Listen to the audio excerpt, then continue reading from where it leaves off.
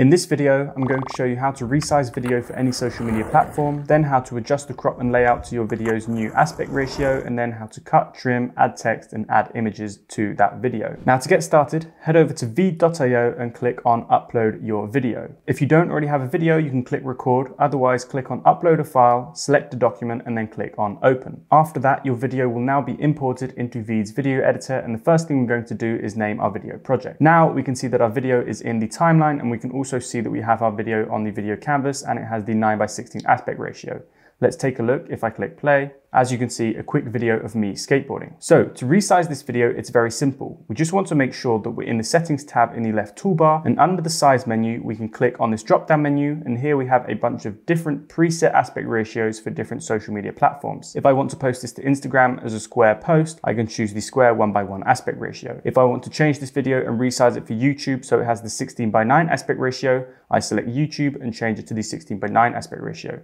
As you can see in the drop down menu, we've got a bunch more different ones for different social media platforms. Now I want to post this to Instagram, so I'm going to make it a square video and I change it to the one by one aspect ratio. So I click square and as you can see, we now have our square video, which is the one by one aspect ratio in the video canvas. Now that you've resized it, I'm going to show you how you can adjust the crop and layout of your video so it fits the square one by one aspect ratio. It's very simple to do. All I'm going to do is click on my video and then these little handles will appear on the side and I'm just going to click and drag to change it to fit the aspect aspect ratio. I can also resize it by clicking on these dots in the corners, make it the shape and size I want, and I can also rotate it. So if I want it to be a little bit slanted, just like so, I can click and drag and do so. To make things simple, if I click on the video, I can also go under the transformation section and just click fill the canvas or fit the canvas. Now, if I only want to rotate a specific section of the video, all I have to do is cut out the section that I want to apply that rotation to. To do this, place the playhead in the timeline where we want to make a cut click on split, and then again, place the playhead in the second place where we want to make the cut